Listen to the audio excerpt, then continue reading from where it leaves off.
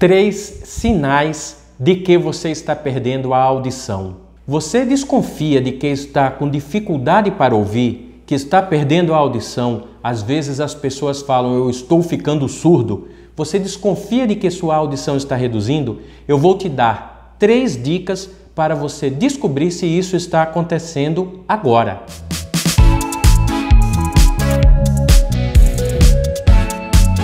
Você está no canal Dr. L Brasileiro, otorrino e médico do sono. E se você ficar até o final do vídeo, eu vou te dar um brinde. Eu vou falar como funciona o aparelho auditivo. O aparelhinho que as pessoas chamam aparelho de surdez, mas o nome correto seria aparelho de amplificação sonora individual. Fica até o final que eu vou explicar em detalhes isso daí para você. Mas direto ao assunto. Quando você deve pensar ou desconfiar de que você está perdendo a audição, de que a sua audição está reduzindo. Esse é o primeiro sinal. Eu vou passar três sinais de que a sua audição pode estar reduzindo, ou três sinais que indiquem que sua audição está reduzindo. Mas o primeiro deles, dificuldade de comunicação. Parece óbvio, né? Mas as pessoas não se dão conta. Se você está trocando as palavras, e em especial quando você está em conversa em grupo, por exemplo, você está conversando numa sala fechada, num consultório médico, só você e o médico. O paciente costuma normalmente entender bem. Agora, quando ele está em grupo, está em família, quando está em uma reunião, está numa mesa em jantar e as pessoas estão falando ao mesmo tempo, aí fica complicado. As pessoas trocam as palavras, a pessoa não entende, você fala uma coisa e a pessoa entende outra e quer ver uma dica muito importante para você observar sua sensibilidade números. Os números, eles costumam ser os primeiros a serem trocados. Por exemplo, eu digo para você 63 e você entende 33. Ah, quanto foi que deu a conta? 363. E você 333, você começa a entender errado o número, porque os números têm um som bem parecido. Os sons mais finos, mais agudos, geralmente são os mais confundidos. Por quê? porque as primeiras frequências que são danificadas, geralmente, são as frequências agudas.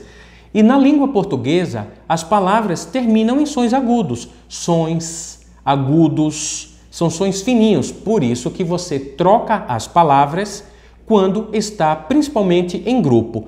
Com o evoluir da perda, a pessoa tem dificuldade de entender até mesmo quando está falando frente a frente com outra pessoa e sozinho em um ambiente fechado, como no consultório que eu exemplifiquei. Então, a dica número um, o sinal número um, dificuldade de entender as palavras, levando a dificuldade de comunicação e troca de palavras. Gostou dessa primeira dica? Então, se eu estou te ajudando, é hora de você me ajudar se inscrevendo no meu canal porque na hora em que você se inscrever no meu canal, ele vai aparecer para mais pessoas e assim como você está sendo beneficiado ou beneficiada, essas outras pessoas também serão.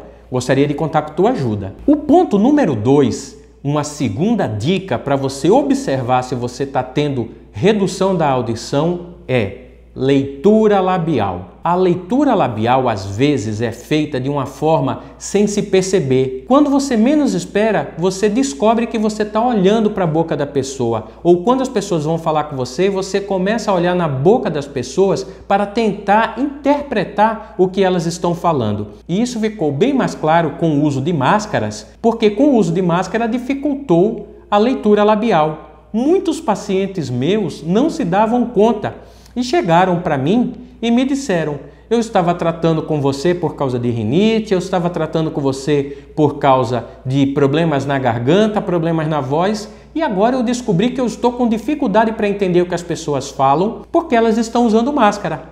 Assim sendo, a leitura labial, as pessoas que olham para a boca da pessoa que está falando para tentar entender melhor, esse sinal, essa característica pode indicar que você está tendo uma redução da audição. O terceiro ponto que eu vou falar para vocês é um sintoma que muitas vezes você reclama dele, mas nem imagina que ele ocorre em você porque você tem perda de audição. O zumbido. Muitas vezes o zumbido indica nada mais nada menos do que uma redução da audição. A redução da audição pode ter várias causas, vários motivos desde uma perda sensório-neural a uma perda condutiva, uma perda mista. Existem várias causas de perda auditiva. Por exemplo, o Beethoven, um autor super conhecido, um gênio da música, ele tinha uma doença chamada otosclerose, que além de causar redução da audição, também pode causar zumbido. E se você fosse inscrito em nosso canal, teria assistido a esse vídeo que eu conto um pouco da história de Beethoven, falo da otosclerose e das características dessa perda de audição. Zumbido pode indicar perda auditiva. Agora, se você tem redução da audição, perda da audição, existe um exame chamado audiometria no qual você mede, você afere a audição da pessoa, você consegue contabilizar o quanto que essa pessoa está escutando ou não. De uma forma simplória, de uma forma simplista, seria isso: medir a audição, a audiometria.